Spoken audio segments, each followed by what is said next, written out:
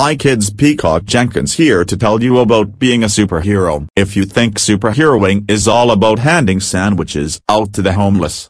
Well you are wrong, not only are you wrong, but you may be a pussy. A big fat pussy, too. Superheroing is about kicking people. Right in the leg. Over and over again. And latex. Superheroing is about latex too.